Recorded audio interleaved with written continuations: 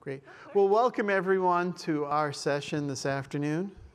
Uh, lessons from the community, what I've learned as an OpenStack Days organizer. My name is Frank Days. My day job is I run marketing for Tesora. We are the top contributor to the Trove project, that's database as a service here at OpenStack. Um, also, this past year, I had the good fortune, along with Sharone Zitzman on my panel, of organizing the, the first OpenStack Days East event in New York City, a 500 person event. And um, one of the things that we, do, I think everyone on this panel has organized at least one OpenStack Days event and has learned a lot from it. And we were trying to really share with everyone today the things we all learned. And hopefully um, you can pick up some interesting information. Just from a Denise uh, Rodolfo, who's helped all of us in these events from the foundation standpoint. Shout out to Denise. And also Sriram Subramanian, who is with the OpenStack Days in Seattle as well. We got pretty crammed in when I was trying to put the proposal in. And next thing you know, I had seven people on the panel, and Sriram will be here as a resource as well throughout this.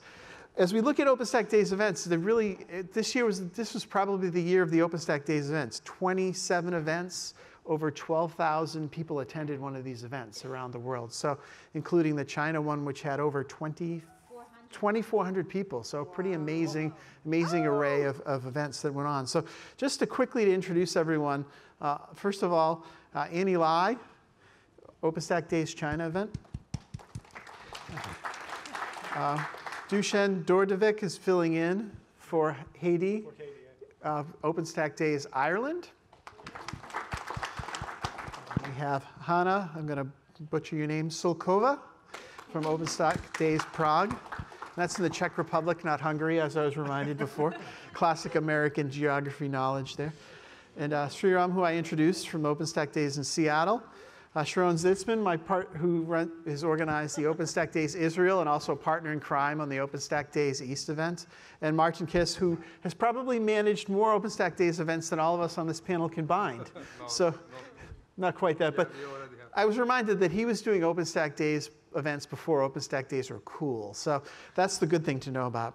So why don't we just jump into the conversation? This is interactive, so I'm going to come out to you guys periodically. If you have a question, raise your hand in the middle. We want to make this as interactive as possible. It's a community event about keep doing community events. So let's don't be afraid to ask questions.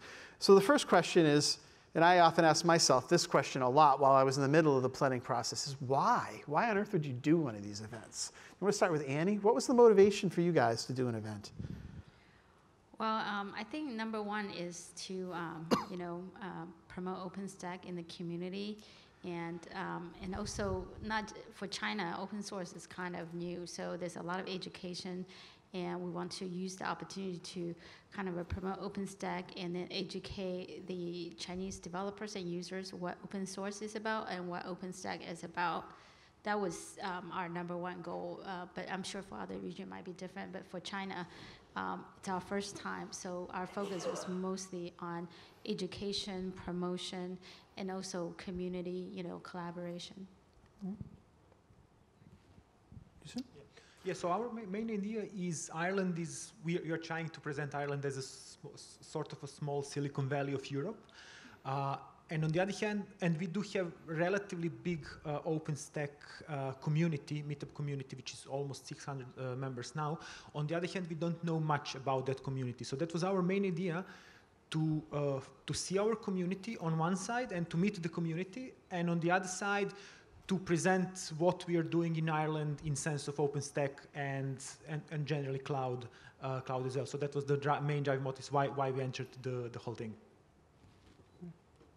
Okay, so uh, in Prague, or in Czech Republic, there was a problem that uh, the opposite side, that there is uh, no community.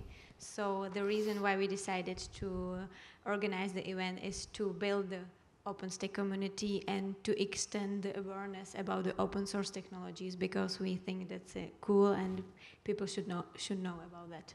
That was the reason. Yeah, so my first summit was in Boston, and it was very long, long time ago, and it was a so good experience that our goal was that I simply wanted to bring the spirit of the summits into Central Europe. And I think we, we definitely reached that goal during the last few years. Um, so I'm from Tel Aviv, um, and Israel is a very technologically advanced country. A lot of uh, brilliant developers, engineers, cloud uh, admins, but they're very dispersed. So it was really important for us to kind of bring the community together. Um, we ourselves um, lead an open source project, project and kind of um, build out the open source community um, and specifically around OpenStack, find more contributions uh, to the OpenStack community. We thought that that was a really important driver. So um, we wanted to do that, and we've actually been doing this for a good four years as well. Wow. Um, so yeah. That's great. So as we do these events, um, the question coming back to, I think about my own experience with the OpenStack Days East event. Um, we did, you know, I did this as a part of my day job, right? We were doing an event. We did Trove-centric events the previous two years, and then we decided we would do an OpenStack Days event. And I had to sell the, the event to my CEO and to peers in my company that this would be important and valuable experience for us. Um, but I wanted to get a sense from the panel. Maybe I'll kind of go uh, back to Sharone. We'll start on this end. I mean, how, what was in it for your company, and how did you sort of justify or share or convince people within your company this was an important endeavor? Um, so I think first of all, the friends and the networking that we've made, uh, being um, an active part of the OpenStack community, has been invaluable to the company.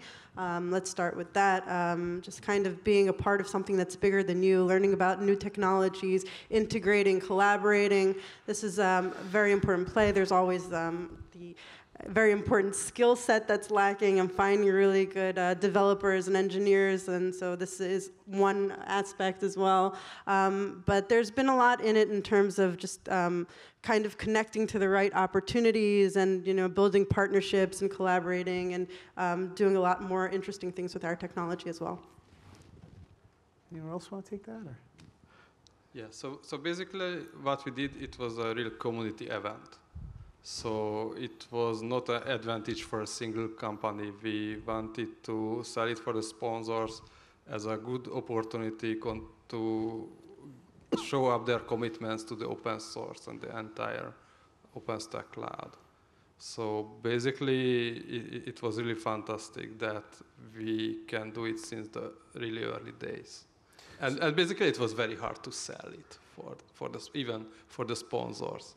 So it was not so common that they want to su- support an open source community because, especially in Hungary, we are in a very special situation that uh, most of the companies are just uh, small uh, departments of larger vendors. Great. So how, how big was the event in Budapest? Yeah, in Budapest, I think we started. It was not so big, so Budapest is not a, or Hungary is not a very huge country. We have around 10 million people, but for the first event, as I remember, we had around 250 Wow, good sized attendees. crowd. So it was not so bad for start. Yeah. Okay. Hana? Hana? Yeah, for Prague, we decided to have a small event. Yeah. I discussed it with Claire because uh, we didn't know what we can expect, so we decided for the 150 people. Okay. But um, the people really was really excited of this event. So for next year, we will have a second OpenStack Day, and it will. I hope so. It will be much more bigger. And from the community point of view, uh, in Prague, it was difficult. So I all the people in company was really enthusiastic about the organizing but the, the other companies who likes openstack they want to be uh, sponsors but not so active in the community. So we actually prepared everything as a tcp cloud or as a company but as a co-organizer with openstack foundation and try to attract other people. But when you were organizing this event, and uh, maybe it's all three of you guys, were you organizing it on day, you know, during your day job as a part of your day job, or was this something you did on nights and weekends? uh, it's on nights and weekends Okay. Okay. Interesting. Yeah. Martin, same thing for you, nights and weekends, or? No, I basically have a very flexible work environment, so I can do it very, very freely. But I sometimes even sleeping, uh, uh, dreaming about this event. Oh, I had those It- dreams. it- I think it is a very long process because you need to arrange everything Yeah. from the. How about in Ireland in terms of organizing the event? Was it done as a part of your day job, or was it something that you did sort of nights and weekends on the spare time? Uh, we, uh, from my, for our own perspective, we are a small consultancy company, and it's, it was natural move for us to, to be a part of, of, Yeah. this kind of, of community. Uh, but I must say that we had actually phenomenal response, uh, and it was not hard sell at all to sponsors and uh, and uh, to community to help us organize the, the, the whole event. Uh, the, the people that, that were co-organizers, we, uh, mostly we've, do, uh, we've done it all as, as a part of daily job.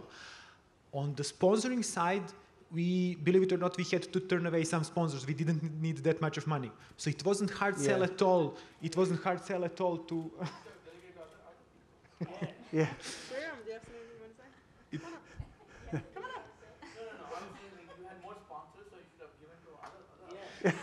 We actually we actually set some money aside for we, we set some money aside for next year yeah. So it wasn't it wasn't hard to sell at all. Uh, in terms of size we didn't know what to expect. And Right. we we started with 120 designed the i mean took the venue for 120 people. Uh, we sold out everything i mean all 120 place, places. We at the end and then and then the whole nightmare started when, when I had a call from lady from HP saying, "Look, we have a bus of people coming to your event. Can you send us invoice for tickets?" Oh, my. Literally like that. So at the end, we, we ended up with squeezing somehow or some, something around 170 people. So the response was was phenomenal, both from sponsors and from people uh, coming in, and it, it was really great experience. Let me, let me ask Can Anni I- on this next. I I just wanted to uh, Sure, sure, go ahead. in general, just on that, um, on the other side, because it's a bit of a double-edged sword. You- You're asking if you know if you're doing it during your day job. I, I just want to you know say that it is something that you need to be all in on. It's not something that you can do halfway. So it isn't just your day job. It's nights and weekends and it's everything. But you have to be deeply committed to doing it because it is something that is resource intensive. But it's really a great, great feeling when you get it together and you're part of something that's larger than you and you see that you're the one that brought out the community, brought people together, building conversations around open source, around something that you deeply believe in. So be aware that there is uh, there is an investment and it's not and you do have to have the mandate i think from your job in order to be able to do it because it's not something that um, it is something you have to be all in on.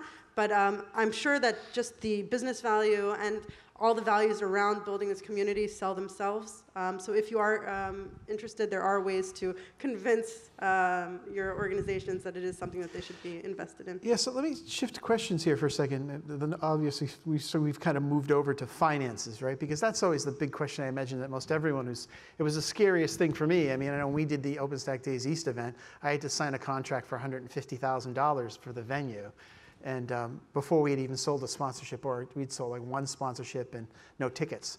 So, I mean, we should give a shout out to plumgrid for that what's that? we should give a shout out to Yeah, plumgrid Plum Good, Plum a and, and well, Gigaspaces and Tesora, the three of us kind of led the way. But you know, someone has to sign sign that contract depending on what space you have. I mean, how did it work for you guys? I mean, a 2,500, 2,400 person event. How did you And work out the had three finance? months to in, in three for it. months. I mean, Yeah. I can imagine the finance person when you went to that person. I have this vision for an event. I need to sign for a 25. Yeah, we, we, yeah, China is a huge market. It's the first time we organize an OpenStack Day event, and it, it's a very um, complex market too. So we actually, and then we had three months to prepare. So we actually had to set some ground rule in the beginning, so we don't get into a chaotic situation because people it's still it's something education. People need to understand OpenStack Day is a community event. It's not uh, different from you know other like confer- other conferences. They are more commercial. This is more for community education, collaboration, promotion of uh, open source. So we actually made a ground rule that you know the organizers, the volunteers. This is a grassroots effort, and you don't represent companies. And companies get visibility by sponsorship only. So even if you're a volunteer, it doesn't give you the right to be on stage and talk about your company. So we made that ground rule. So all the mm-hmm. volunteers were really volunteers, and because of that, we'll use our personal time. So we're not gonna get like big kudo from our boss say, "Oh yeah, you did this, right?" But we do this truly for the benefit of the community. So for me, because it was only three months, and um, so we, we had to do like things like in a very um, it was a last minute thing. So and, but we didn't have any company who is willing to write a big check up front, right? And because, but then at the same time, we have to secure a venue because Right. we're thinking we might have a couple thousand people because we try to use Japan as a benchmark. And we're thinking about Japan, they always have a thousand people, a couple, few thousand people. So we use that as a benchmark. So we had to get a large conference room secure, but we didn't have any company who's willing to write that check. Because what if we don't sell all the seats, and we don't sell sponsorship, but then we already got the venue? What do we do? So we actually found this worked out really well for us. We found a media company, and we invite them to be a volunteer as well. So you come in, and they, they had some understanding of OpenStack, and they come in and you work with us, and in exchange you will get some visibility because you were part of the you know volunteering team, and so we got lucky. We found this company, and um, so they they were willing to write up this check. And then because we feel like this is a community thing, and the rest of us, we work very hard to get all the sponsorships to make sure that they don't lose money in the end. And so they wrote this check, secure the venue at the China's largest conference center, you know, Yeah. national conference center in Beijing. So we got really lucky. We have a first class venue, and this media company wrote a check to secure. And then, you know, we, we came up with this event plan and the sponsorship plan, and then immediately we, we sold the sponsorship so fast. I mean, there's Yeah. more people wanting to sponsor. I mean, in the end, we got all the, sp- uh, we, we were able to sell all the sponsorships in probably three weeks. So, So it's a different market. China is a little bit different, yeah. Dusan, so your, your event was probably on the opposite end of the spectrum, right? Small consulting company, uh, more, even more of a grassroots. How big was the event? Uh, we started. It was one, around 170 people. 170 people. Yeah. I mean, when you built your financial plan, how did you, you know, secure a venue, you know, build the financial model that you ended up with a surplus that's great, but there must have been a point in all our planning process where you got to put the money out for the venue, you got to commit to food, you know, the spending goes like this, and then the sponsorships come in and you get back to break even. Who backstopped your event? Who guaranteed, you know, the event? Yes, so well, we- we- we've been in good position because first of all, uh, a foundation helped us a lot, OpenStack Foundation. So that was the big, very big help for to, to start it both with some finance, but also with, with knowledge how to do things. Uh, then it's uh, uh, the the other backers, the other uh, uh, the- Haidee who, who who is not here. She's from from Intel, so Intel Okay. was great help. So we we had some some of a good background to put it that way. So we had a couple of big companies, uh, we had some money, and the costs are not that high, uh, at least in Ireland. So of course, venue costs a lot, but it's it's not significant. It, it wouldn't be Yeah. significant loss even if we even if we missed for for a large amount of of of numbers. So we we just did like by, by uh, started and and. Uh, we hoped for the best to put it that way. So can I go off the board here to Seattle? Because I know you've done your event twice already, and you've done it, you do it at W Hotel? Oh, sorry, go ahead. Before, before when, I think we need to get from Martin because he has done Yeah. it many years. So you want to share your thoughts before I answer? Yeah, but Yes, feel free. So thank you. So I'm Sriram. I'm basically from Seattle, right? So I did it twice, and um, we started little um, small. We wanted we targeted 150 attendees the first year, but we oversold and we got about 175. And the second year we wanted to target 175. We oversold. We got I mean we, we got sold out and we, we, we got 200. Uh, we changed the venues. Uh, we had a smaller venue, kind of a niche, kind of a high-end venue for the first one, and someone had a feedback saying that this doesn't sound like an open source kind of event. It's kind of high-end. But then um, we wanted to get a larger event, so we went to the W Hotel.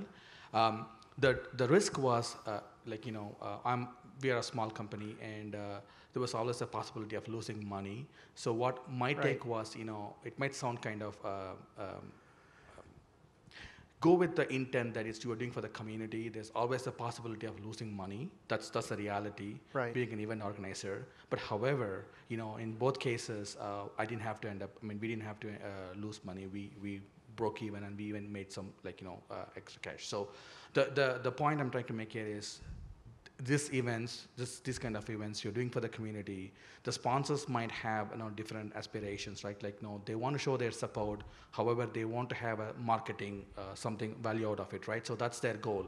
But as an organizer, you cannot have the goal. You need to. You are doing it for the community, and be prepared to take the risk. Like, be be, be prepared to lose money on that. But I don't think you will lose money out of it. You will definitely like you know. Um, yeah, yeah. Kavit has a point. Uh, So, uh, I think uh, we've done we've done about four uh, four in India In thus India, far, okay. and we've gone from like 100 people to 700 this time. Wow, that's a pretty good Uh, number.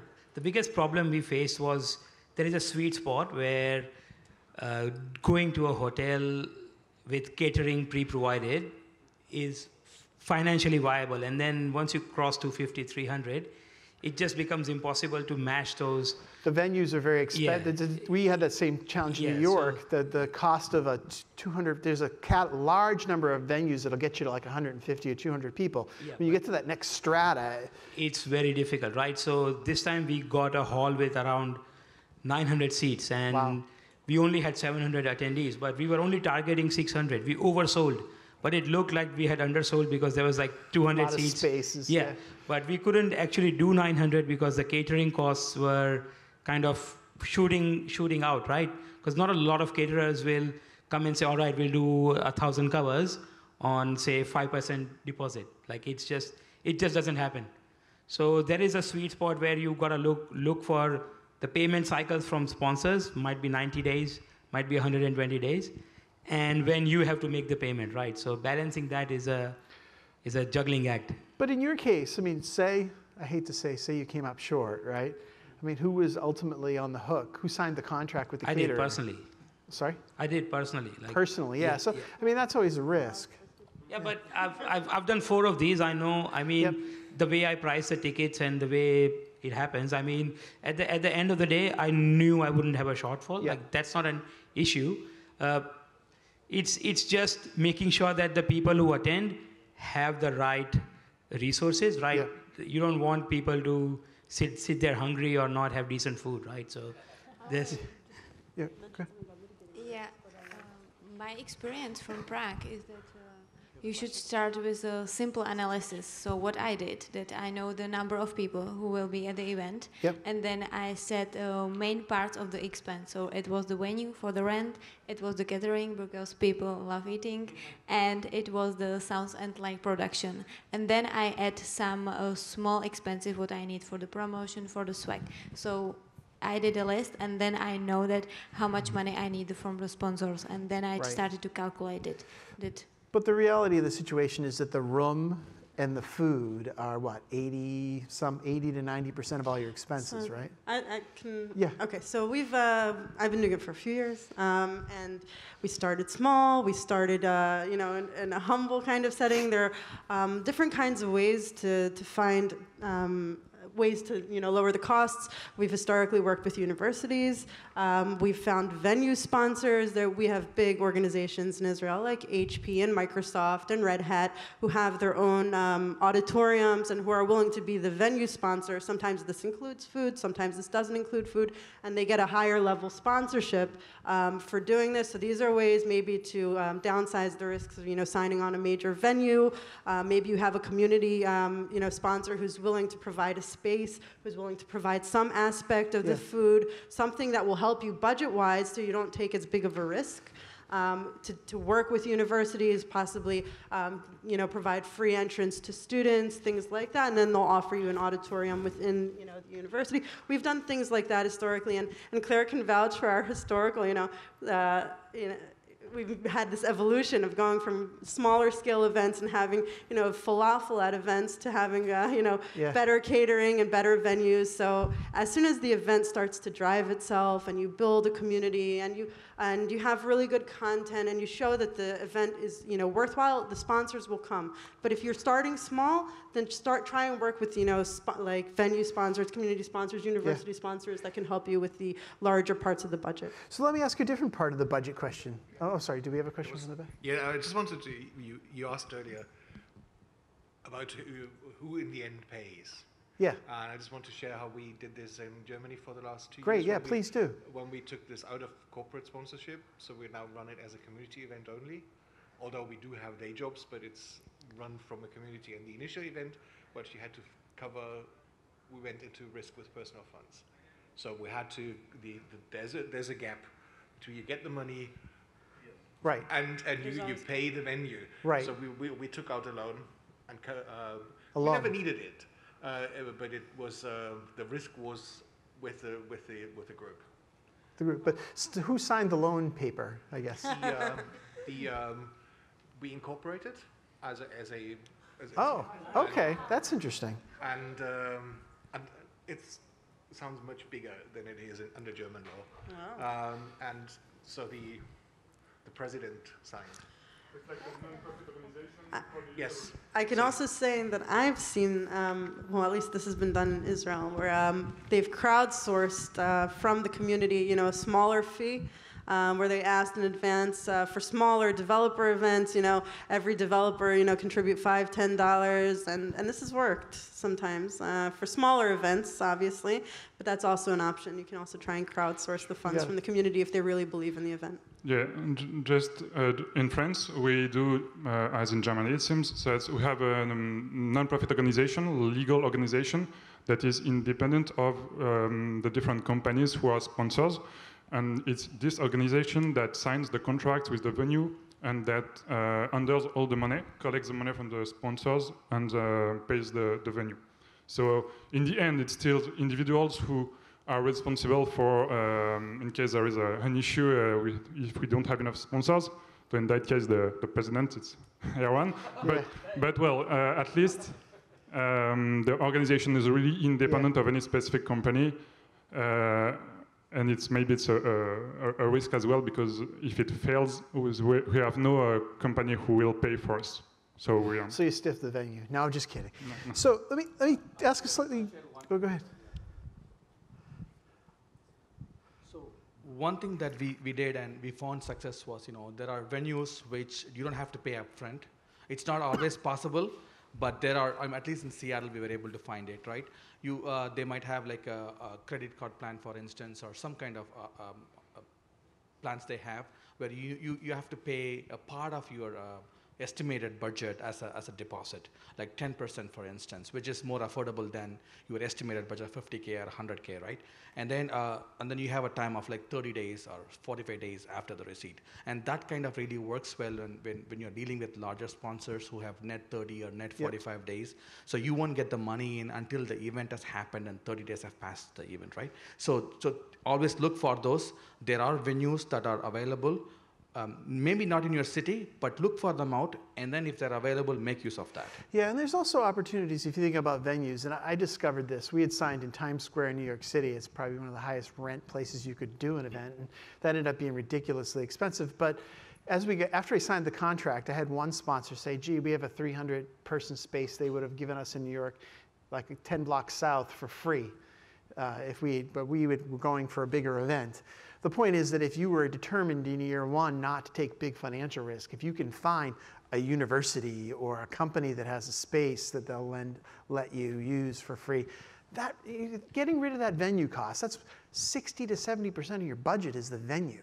If you can eliminate that cost, that, then the only risk you have is food, which is, I think uh, You can also pop up. you can also, change is happening at, at the at what the event is focused towards that, that that might expand the scope so for Yeah. example there are a lot in bangalore for example right there, there there's an event every weekend like even when we did the openstack india day last year there was a docker event and we lost a we lost like 10% of the people okay. who paid for our event but ended up going there so you have to now offer something more than just talks Right. so we are next next year we are thinking of doing like hands-on training uh, upstream training, right, at the India Day for people who can't come to the summit.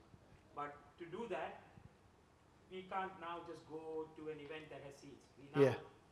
Breakout rooms and yeah, yeah. internet, right? Yeah. So, so the scope has kind of expanded just to remain competitive because there's just so much other stuff going on every every weekend. Yeah. Uh, it's it's we have to take on more, but it's Yeah. just difficult to find a model that will scale.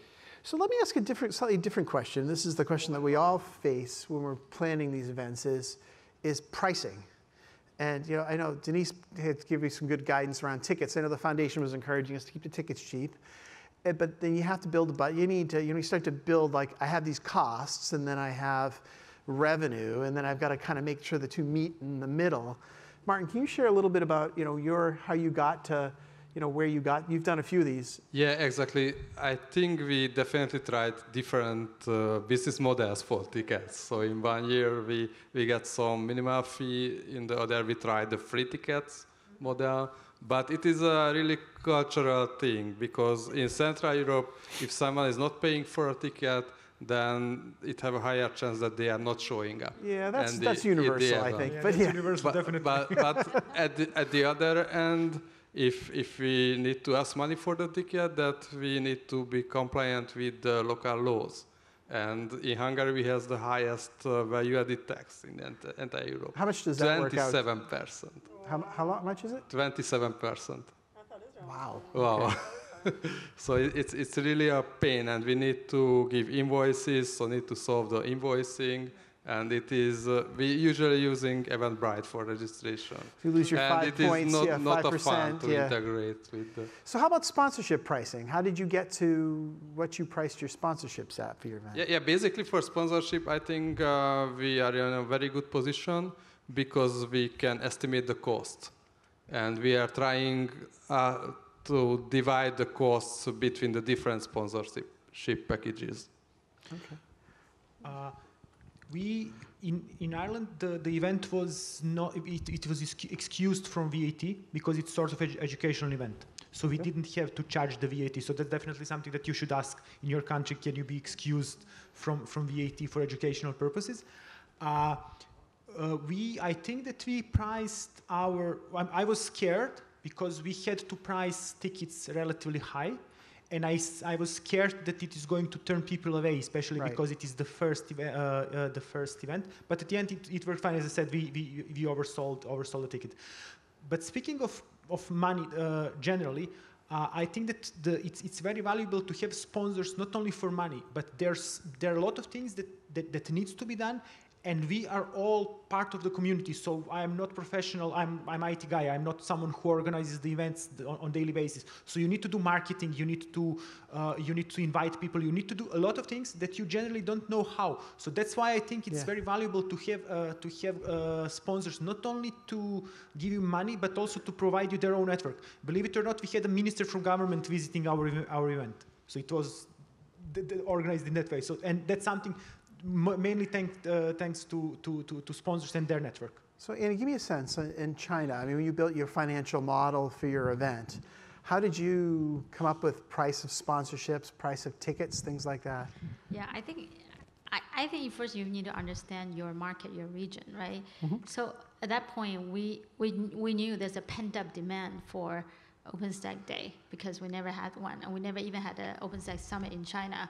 At the same time, China's got the number two highest uh, num- number of developers, OpenStack developers. So we know we can sell sponsorships, and um, so, and our goal is to get as many people in as possible. So everybody, because not many people in China, especially developers, can travel, and also sometimes getting visa for them um, in a foreign country is very challenging. So our goal is to be inclusive. In, you know, we want to make sure that they can get to the event easily. So in that case, we decided to put the burden on sponsorships, right? So our event, our ticket was only like 60 or I think 60 USD, Okay. US dollars. It's very cheap. And, and then we also had, you know, lunch too. But we did uh, have, we had uh, about 30 plus sponsorship. We had diamond sponsorship, you know, so, uh, diamond, gold, silver, you know, tiered sponsorship. And then we sell all kinds of stuff, water bottle sponsorship. And in China, this is funny. This is where we, it's, it's apparently this is common in China. You can sell, put a company's logo in the back of a chair of the seat. and you can sell that as a sponsorship because why companies buy that? Because when they take picture from the back, they see their logos everywhere, and we charge a lot for that. That's a good idea, A- though. And then, and then, but then the other company wanted that too. we're like, okay, we'll divide the room into half and half. So in that case, it doesn't look like it's a one company's event, right? Because we don't want people to think this is one company's dominated event, but at the same time, we, we need the sponsorship money, right? So in the end, we decided to have like three options for three companies to buy that thing. And so we do have um, high price items for, for that, you know, for more visibility. And you just have to be creative, sell whatever you can sell. So the, so the question is two philosophies. Let me just ask one, one more question, then we'll take the question back there. There's two philosophies about pricing, right? There's keep it cheap and sell a lot of it, or there's, you know, price it high. Because I, have my second, my day job is I run marketing for a company that gets solicited by people like you guys who have events that want sponsors, right? You know, I, that's one role is my day job. I see them come across. And then there's my other role, managing an OpenStack Days events. How do you, I guess this question, Sharone, how do you balance the, do you go cheap, cheap and cheerful and try and sell out? Or do you go, you know, high value? Because, I mean, look, I mean, it's a, I want to say, what was it? 175 or 200,000 dollars for those four big booths on the mm. floor downstairs. I mean, there is a precedent in the community for higher priced stuff as well. I mean, what's the right way to find that balance? So first and foremost, what, Ann, um, what Hana said. So she, so you have to reverse engineer your budget. We're not looking to make any profit. We're looking to break even. Um, so that's first and foremost. So based on the amount of money that we need to bring in, uh, we historically actually didn't want to charge for tickets, but we found the same thing with uh, Martin that um, if somebody doesn't pay for their ticket, they respect the event less, and we had more, more no-shows. So our fee, in a sense, is what we call a seriousness fee. It's, uh, it's a phrase in Hebrew, just to make sure that people will show up.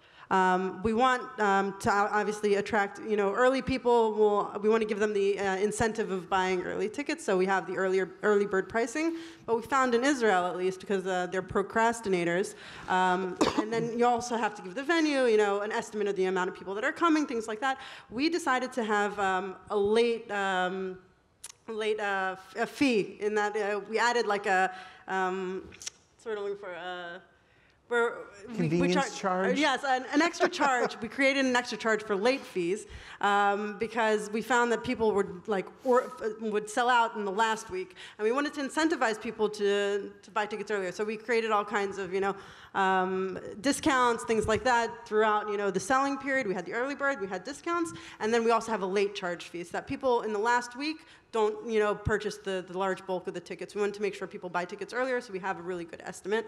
Um, and based on the amount of tickets that we know we're likely going to sell, we price this sponsorship in, in you know the same manner. And then we also create all kinds of add-ons um, to enable people to um, you know if they want to hire visibility of sponsorship.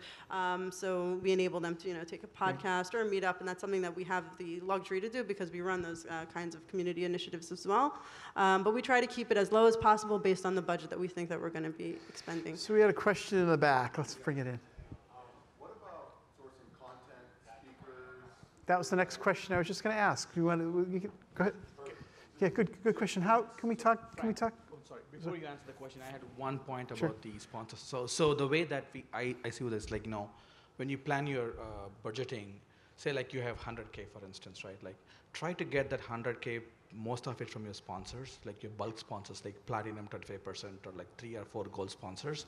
And uh, I would not expect to cover a lot of, lot of the expenses through the tickets the ticketing is primarily like you know like the seriousness fee right? Say like 10% try to get the 10% of the uh, your budgeting to the tickets.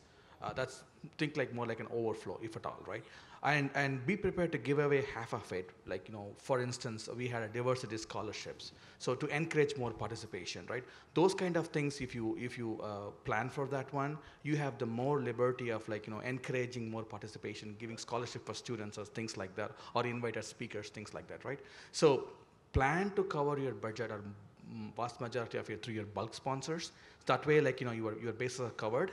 And then try to have the add-ons like your cocktail sponsors or your lunch sponsors or like you know the chair sponsor something like that. Those are all like think like you know your surplus. So that that way like we, that that really worked out well. And uh, the other thing uh, about the um, sponsorships that my my personal uh, favorite is like you know give the opportunity to the startups in the com- community. Like you know it is good to give them visibility as good as like a silver sponsor, for instance, obviously, like you cannot give the same visibility as the platinum, but try to give like like try to charge them very little.